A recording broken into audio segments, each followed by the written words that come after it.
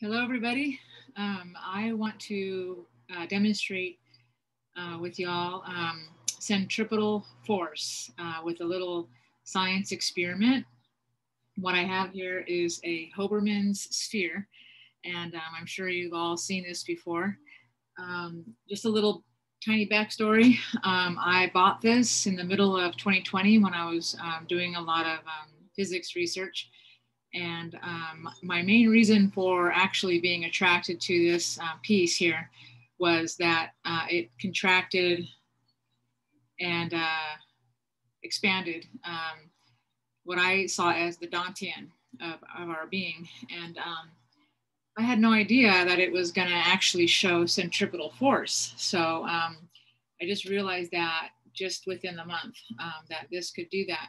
So I hooked up the pulley and the little string here. And so if this thing is um, actually rotating on the ver vertical axis, like so, with it fully expanded, and then you're gonna see how when it contracts, it goes uh, much faster. Now I'm gonna go the other way so it doesn't get too tangled.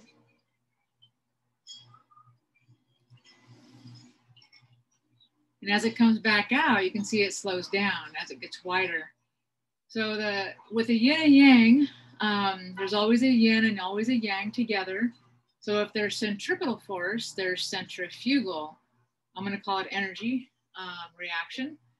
Um, so the centrifugal is as it's expanded, it slows it down because the energy is being uh, pushed outward. So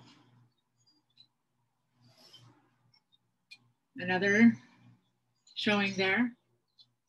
And what do I mean by the centrifugal energy being pushed outward? Well, if you've got tires uh, going in the mud, the mud sticks to the tires in centripetal force. But as soon as the mud is too heavy for the tire, it will fling off in centrifugal reaction, or you could call it inertia. So I just wanted to share this with you. I could um, say a whole lot more about centripetal force, um, but I don't want this video to be very long. And I just wanted to uh, do a little demonstration uh, visual of centripetal force going much faster as it contracts uh, in angular momentum, that is. Thank you so much.